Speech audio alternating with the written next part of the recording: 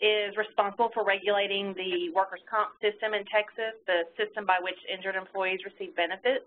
But one of our other key duties is to promote safe and healthy workplaces, to try to keep people from getting hurt on the job. So we really appreciate the opportunity to partner with the National Safety Council with this webinar series to talk about occupational driving safety programs. Today we're going to cover, uh, focus on the driver and what employers should consider when they're developing their program when it comes to the driver. For those of you who attended or yeah, who attended last week's webinar, some of these first slides are going to be repeats, but I do want to cover them um, briefly for those of you who were not able to attend last week's webinar. So when we look at driving on Texas roadways, here are some statistics from the Texas Department of Transportation for 2014. Um, you can see that over 3,500 people died on Texas roads in, in crashes last year. There were no days last year where, where nobody died on the road, and actually um, we're coming up on about 15 years since the last day that nobody died on a roadway in Texas. And I looked at the TxDOT website this morning, and as of today, 2,729 people have died so far this year. And if you were listening last week, I mentioned the number last week, and then there have been 67 more fatalities in the week's time since our last webinar.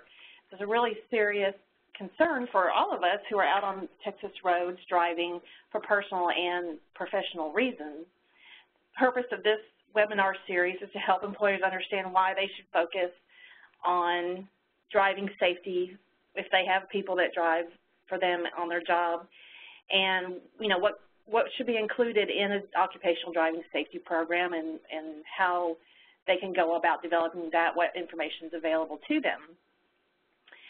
The reason we are focusing on transportation outside of those statistics I just showed you from TxDOT when you look at the Bureau of Labor Statistics occupational fatality data, transportation incidents are the leading cause of work-related fatalities in Texas, and there are lots of different occupations and industries that require employees to drive as part of their job functions. And in a lot of cases, driving on the road is probably going to be the most dangerous thing that your employees might do for you while they're working. So here are some data from the Bureau of Labor Statistics. As I mentioned, the leading cause is transportation incidents, a full 45% were transportation incidents. There were 524 total fatal occupational injuries in 2014.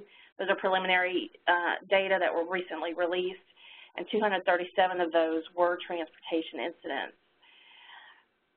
Another um, startling fact is that 57% of those transportation incidents involved occupations that were not motor vehicle operators. So a lot of these people who, or employees who are um, victims in these crashes, driving is not necessarily their main occupation or their main job duty. It's something they're doing outside of whatever their normal job is. And we, when we look at the BLS data, we also see that almost 4,000 cases in 2014 were not fatal, but they involved days away from work as a result of the injury. So we want to encourage employers to limit the risk to their employees and to their company by um, developing occupational driving safety programs that address the hazards that are associated with that have written programs in place and, and review those programs on a regular basis, just like you would with any other uh, written program, safety program that you have in your workplace. We think it's really important that employers think about the road as an extension of their workplace as we talked about in detail last week. So today we're going to talk about the driver, as I mentioned. The other two components that are uh, essential in a occupational driving safety program are the vehicle and environment, and we'll be talking about those next week. When we look at the driver, these are the things we're going to talk about today. employers, I think, tend to assume that employees that come to work for them, if they have a driver's license, a valid driver's license, then they're they have good driving habits or they're capable of driving, whatever the case may be. And that can be a mistake if employers aren't really thinking about the task at hand and the person's ability to drive when they are driving as a part of their job for their work. You know, a lot of employers will train their employees on how to do different types of job functions, job tasks in their workplace, skills that are needed, you know, within the brick and mortar part of their workplace, but they may not really think about the driving skills themselves, which we're going to cover today. First, we'll talk about distracted driving. This is a big topic. A lot of people are talking about this both from uh, a use of electronic device standpoint and other standpoints.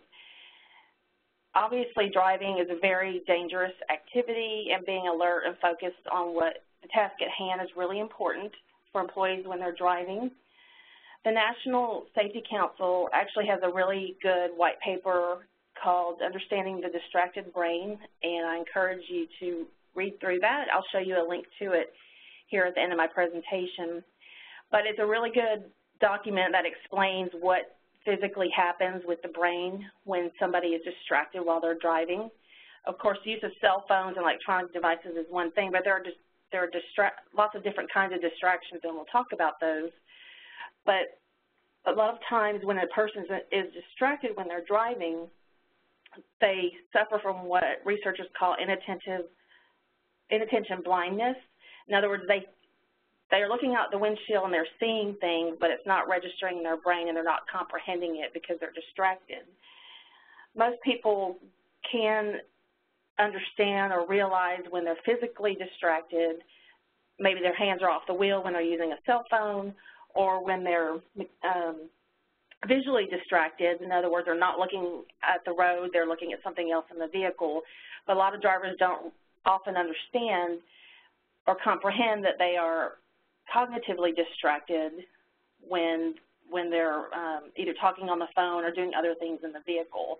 They don't really realize that they're not paying attention to everything that's around them and their surroundings. So any anything that is done in the vehicle besides driving is a distraction.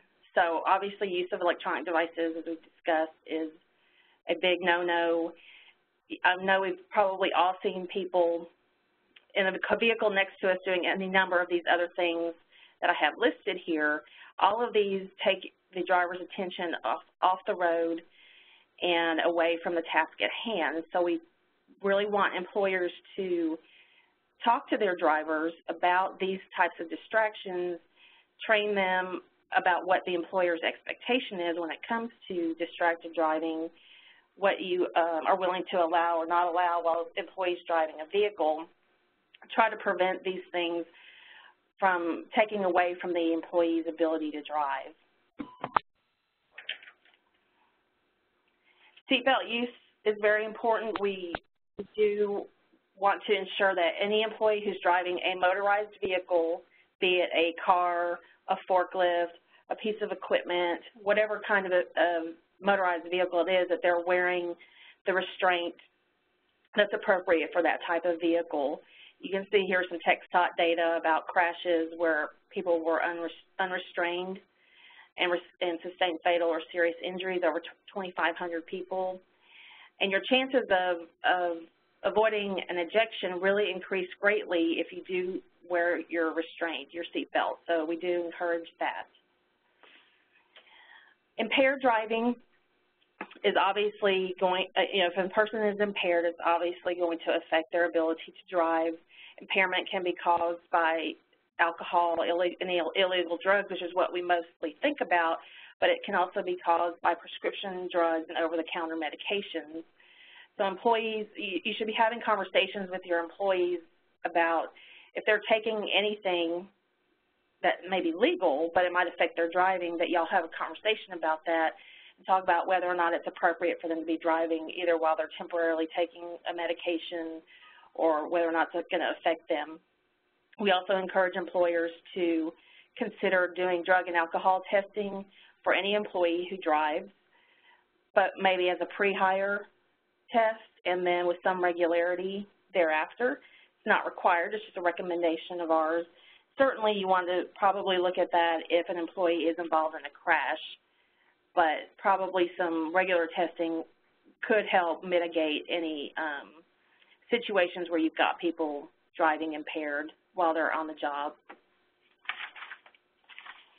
We're going to talk a little bit about fatigue. I would like to share a, a brief video with you here. Um, you, you may have seen this before. It's on YouTube.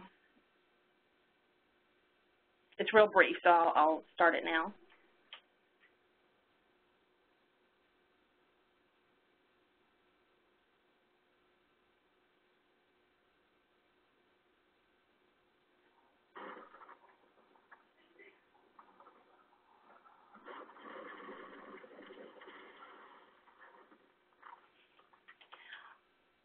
So you can see this um, driver was falling asleep. You can see his eyes, you know, closing. And he, just for a microsecond, he closed his eyes, and then there was a hazard, obviously, in the roadway in front of him.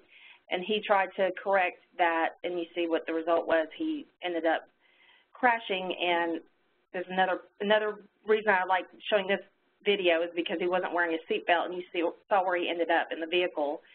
So fatigue can be just as dangerous as impaired driving. Your reaction times are, are diminished, and it's, sleep can overcome a person really quickly without them realizing it. So it's really important for employers to think about if employees are fatigued, do they need to be driving for you? You should consider the, you know, if, if you've got people working long hours, long shifts, and then you're expecting them to drive after that, especially for any length, you know, length of time, that can be particularly hazardous for them. It's probably not a good idea. It's also good to talk to your employees about that are driving, um, why it's important to get a good night's sleep, why it's important to not be on the road while they're fatigued. So that's a training element that we do think employers should cover excuse me, with their employees. Just, and then some general discussion about wellness and being fit to drive. Um, uh, you know, a lot of times when employees come to work in the morning, we don't necessarily know what they did the night before on their own time. so you want to make sure that you tell your employees that you expect them to be ready and able to drive when they come to work. You want to talk to them about what their capabilities are. You want to look at their job descriptions. If part of their job is going to be driving, you want to make sure that their job description specifies that, that they're able to see and hear and react to things while they're driving because those, those are the things that are going to help prevent crashes. You could also do job hazard analysis associated with driving, but we definitely want you to make sure that people that you have are putting behind the wheel to drive for you are in good health and capable of doing that to the best of your ability to have that conversation. Your occupational driving safety program should include a training element. As I mentioned at the beginning, you know, a lot of tasks that the employee does that are not driving related, you're probably going to provide them some training on them. So we want you to make sure that your driving program does have a training element where you train your employees on these types of behaviors that I've just talked about, but also on all your, your company policies, the program itself, and go over all that and what the expectations are for your employees. The training should also explain the risks of driving and that you consider this function and the roadway as an extension of your workplace outside of your brick and mortar work site. The, the roadway is still part of the workplace and you train the employees on what you expect of them while they're driving. Of course, you know, we, you do want to cover driving techniques in your training, but we, we want to make sure that the message is getting across to the employees that you're as concerned about their safety on the road as you are when they're at your work site. So here are some minimum things that we think you should cover in your driver training, some of these key things we just talked about, and some of the technical aspects um, defensive driving, aggressive driving, some common causes of collisions, rear end collisions, backing, uh, maintaining the vehicle, driving in adverse weather conditions. And we're going to talk more about vehicle maintenance and weather and environment in the next webinar. But at, while we're talking about the driving training component of your program, we want to make sure that you cover all these elements at, at some point when you're putting people behind the wheel to drive for you. We do have a checklist. I mentioned this last time, but for those of you who, are, who did not attend last time, we have a checklist to help employers evaluate their safety program and see if there are issues that they probably need to address in their workplace. I'll show you where that is on our website.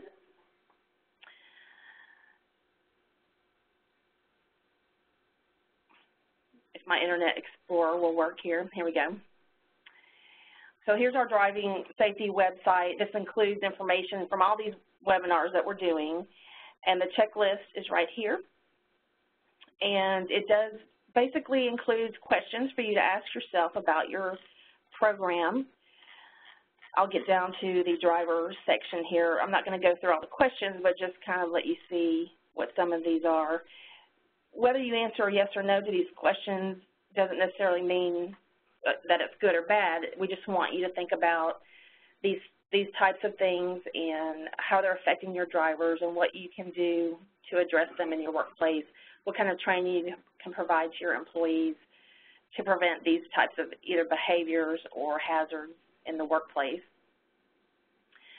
This, this particular checklist does have questions about the other three components of an occupational driving safety program, and so I'm not going to show you all of those, but they're all included in this in this checklist. These are meant to be provocative questions for you to just ask yourself and, and make a decision about whether or not you should address those in your workplace. This website also has a section for the driver, which covers all the things we've just went over in this brief webinar. And it also includes links to different resources to help you with some of these training issues, um, some guidance. Here is the white paper that I mentioned from the National Safety Council, Understanding the Distracted Brain. So we have several links for these different areas that we talked about today to help you with your driving safety program and training materials, et cetera. And just to let you know, we also, when you, when you get to our main page, we do have a link here to last week's webinar. So if you missed that and you want to listen to that, it is recorded and linked here. This links to the National Safety Council's YouTube channel where they have it posted. So hopefully you'll be able to use some of these resources to help you prevent injuries in your workplace. The Division of Workers' Compensation also has a variety of other programs and services to help employers prevent injuries on a variety of other topics, not just driving safety. So I encourage you to visit our website at this link or give us a call or send us an email. We'd be happy to help you with that. And then just a reminder, next week, same time, same channel, we'll be doing the last in this series of webinars. We'll be talking about the components of an, an occupational driving safety program that cover the vehicle and the environment. So we hope you'll be able to join us for that. But those, it will be recorded just as this one and the previous one are, so you, you can, we'll have access to it if you need it. Does anybody have any questions? If you want to type in any questions in the chat, be happy to answer those.